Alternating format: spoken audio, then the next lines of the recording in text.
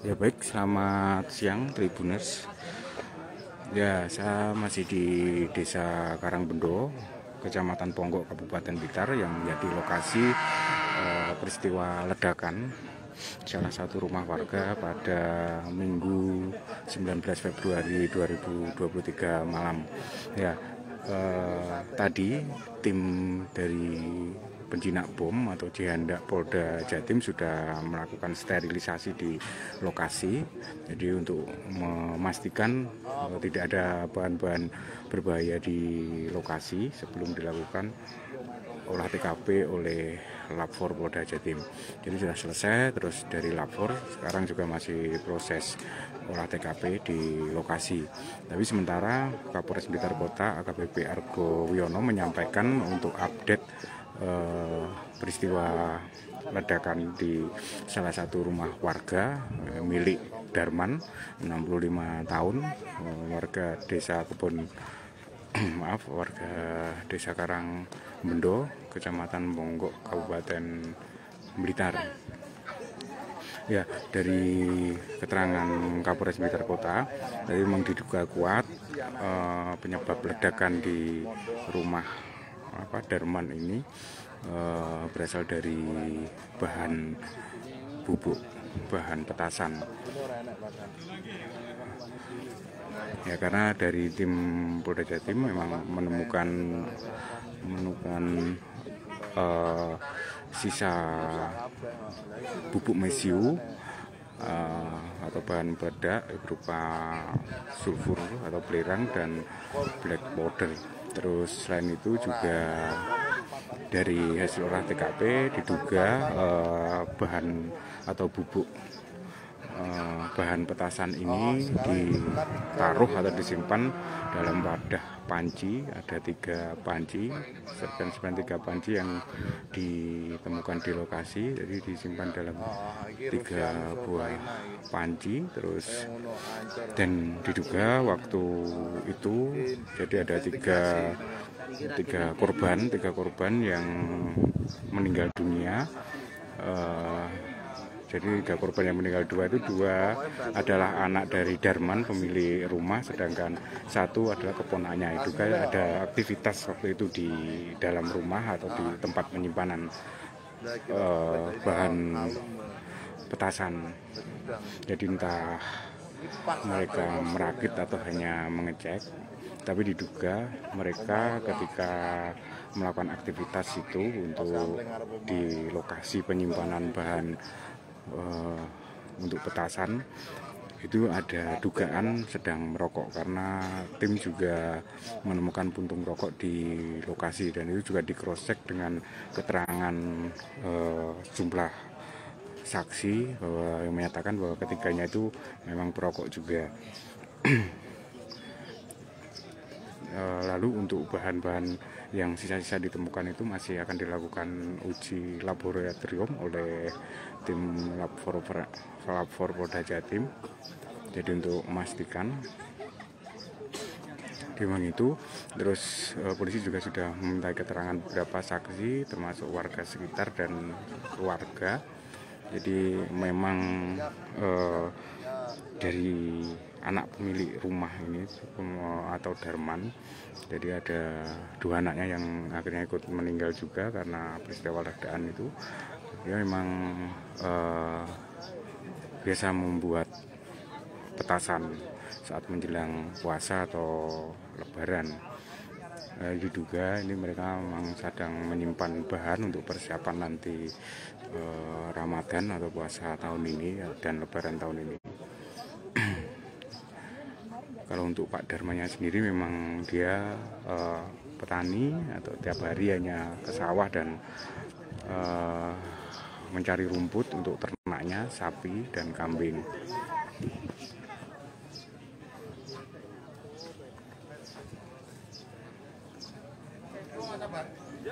Ini kondisi uh, bangunan rumah yang kemarin meledak memang rata dengan tanah jadi itu bangunan batako hampir hancur ada yang uh, berdiri.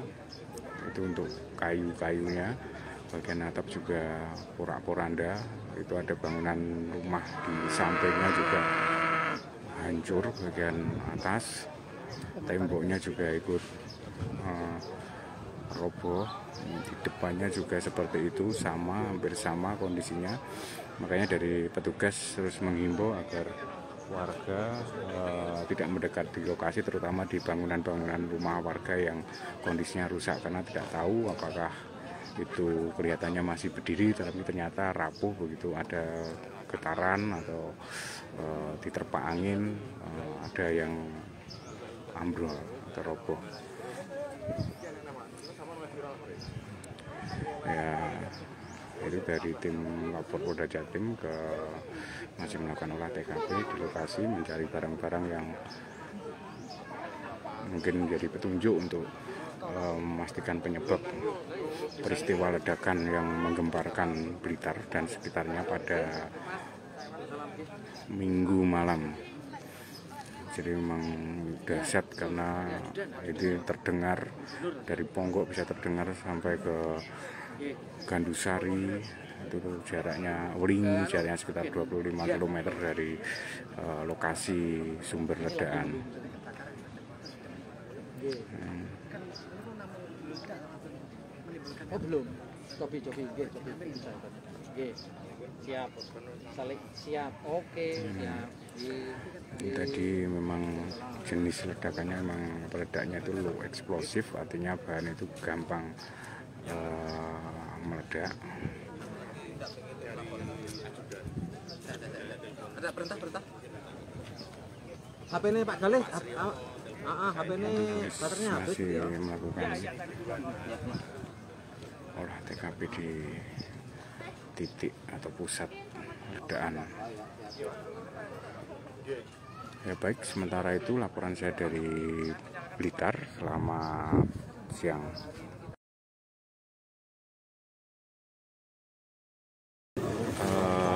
malam ini saya berada di desa desa Karangbendo. Karangbendo. Karangbendo. di desa Karangbendo kecamatan Sadeng ya kecamatan Ponggok Kabupaten Blitar ya tadi sekitar pukul 11-an Pak ya 11 malam itu terjadi ledakan keras di desa Karangbendo Nah, itu belum diketahui diduga petasan dan itu membuat beberapa rumah warga rusak dan eh, sumber ledakan itu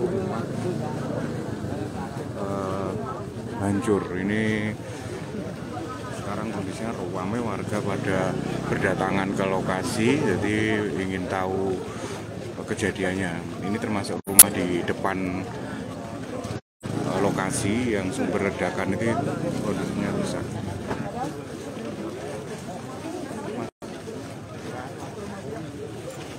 saya minta sedikit ya, ya Nah, dari warga tadi dengar ledakan itu sekitar pukul berapa kan Setengah gitu? sebelas. Iya, iya. Mas siapa mas namanya mas? Adi. Mas Edi, warga sini ya, Nggih. Karang Bendo, Nggih. Karang Bendo. Tadi mendengar suara ledakan itu sekitar pukul berapa mas? Setengah sebelasan malam ya, ya. Itu keras mas suaranya, keras terus eh, kaget sampan Mriki. Oh, tahu di sekitar sini. Itu terus apa mas? Em, banyak rumah yang rusak kayak gitu ya, banyak rumah yang rusak terus Terus ada korban ada korban. tiga orang. tiga orang. Berarti satu rumah yang diduga sumber ledakan itu rata dengan tanah ya, rata dengan tanah. Itu milik siapa mas? Pak Darman. Pak Darman. Berarti yang di dalam ada tiga Tiga sama orang anaknya. sama anaknya, istri sama anak. Atau oh dua itu anaknya yang Anak. dua. Terus sebagian rumah warga juga rusak ya, rusak. Ada berapa mas perkiraan yang rusak? Puluhan ya, Iya. puluhan. Kalau rumah jenengan sama lokasi jauh. 3 kilo ya, tapi terdengar itu suaranya ya, keras. sampai sampai mana-mana Oh iya, makanya sampai mana-mana ya keras ya. Hmm, Baik. Berarti yang posisi yang sebelah sini mas ya. Kalau itu apa nggak belum tahu mas ya. Petasan atau apa belum tahu ya. Tapi yang tinggal di rumah tiga orang. Tiga orang. Oke, baik Mas Edi terima kasih ya. Ya ini warga masih berkumpul di lokasi. Ini salah satu rumah yang rusak milik warga.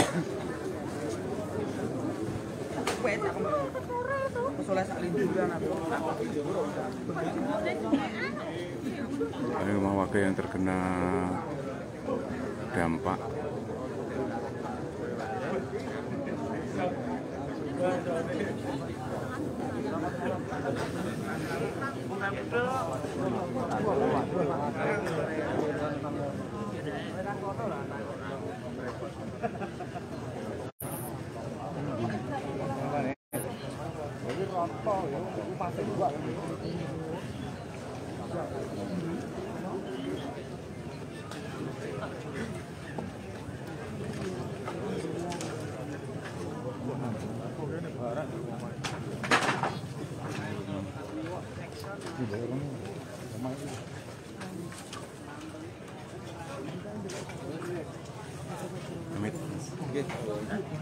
Oh ini yang satu rumah anu mas ya, yang apa? Eh, pusate ya.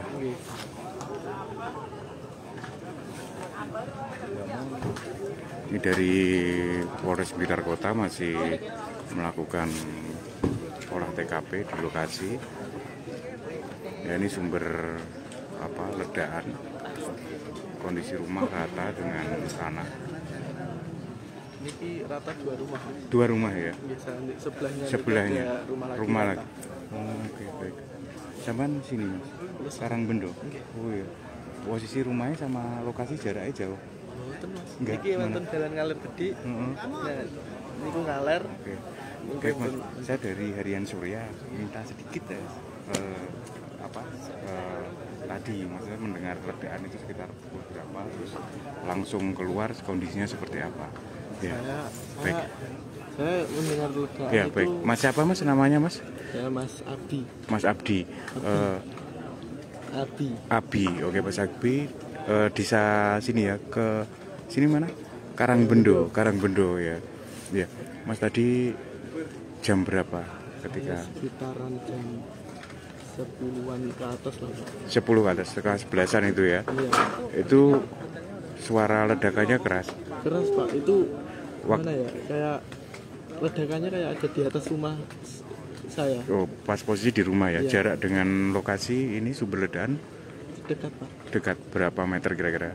Kalau Coba jenengan. Paling 100, 200 lah. oke. 100 li- setengah. Nah, itu setelah terdengar suara ledakan, ledakan itu terus kan kaget keluar. keluar, heeh.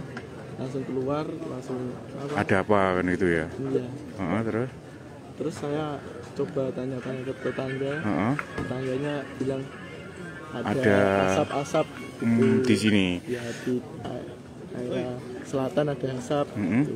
terus saya ke selatan selatan nemu di sini ternyata oh, oke ya berarti ada berapa rumah masih yang ini yang roboh ada dua rumah dua rumah ya rumahnya siapa ini rumahnya Pak Darman Pak Darman satunya yang sebelahnya saya kurang kenal Pak. Siapa oh ya Mm, berarti ada dua rumah ya iya. yang roboh posisinya ya? Hmm, oke. oke Mas Abi terus jumlah rumah warga juga ikut rusak ya? Iya Pak. Oke. karena getaran itu. Kalau rumahnya jenengan sampean? Alhamdulillah aman. Aman ya? Baik. Baik Mas Abi terima kasih. Apa mas ledakannya kira-kira katanya sih ini Pak apa? Petasan. nyimpen Bahan. petasan iya. Pak Darman ini apa pekerjaannya? Pekerjaannya rumput Pak. Merumput tapi biasanya juga buat petasan? Enggak enggak Anaknya. ada anaknya. Berarti ada berapa orang yang di rumah Pak Darman? Sini sih kira-kira tiga. tiga eh empat lah Pak. Oh, ada anaknya ya? Iya. Pak Darman sama anak-anaknya itu? Oke oke. Baik Mas Abi Sun iya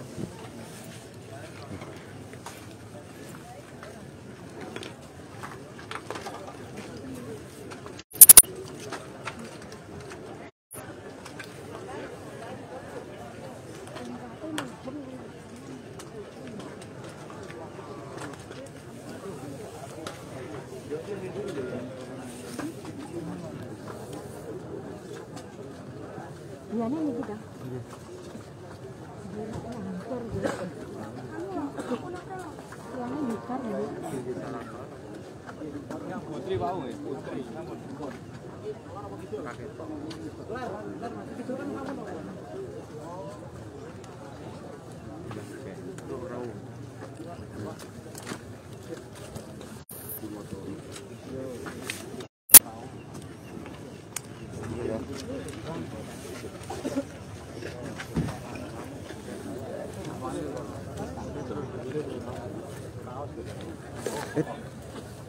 Pak Im? Ya, bet. Ya, ya baik. Ini lokasi ledakan yang terjadi di desa Karangbendo, Kecamatan Ponggok, Kabupaten Blitar. Ya tadi sekitar pukul setengah sebelasan minggu, setengah sebelas malam, itu terdengar suara ledakan sangat keras di uh, dusun Tegalrejo Sadeng, uh, desa Karangbendo, Kecamatan Ponggok, Kabupaten Blitar. Dan ternyata ledakan itu bersumber dari salah satu rumah warga yaitu Pak. Ini ada rumah warga yang kondisinya hancur ini rata dengan tanah. Dan selain itu juga menyebabkan beberapa rumah warga lainnya juga rusak.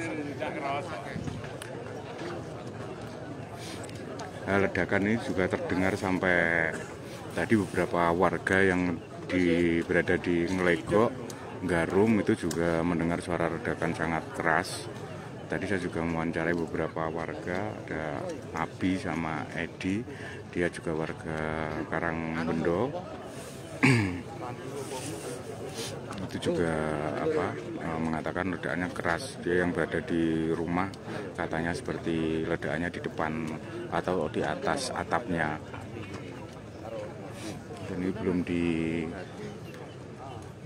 ketahui ini warga sangat banyak sampai hari ini ini berkumpul di uh, lokasi jadi informasinya puluhan rumah warga yang berdekatan dengan lokasi juga rusak Terima kasih sudah nonton. Jangan lupa like, subscribe, dan share.